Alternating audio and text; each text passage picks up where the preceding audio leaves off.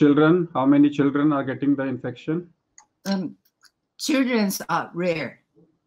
They are, Children's are rare. us- usually um, um, asymptomatic or very mild disease. Okay. What about the schools in Japan? Are they open or Yes, they are open now. the schools are open now and there is no uh, research or surge in cases after the school have opened? Um, some nursery school have a trouble with um, COVID-19, but not for the big one.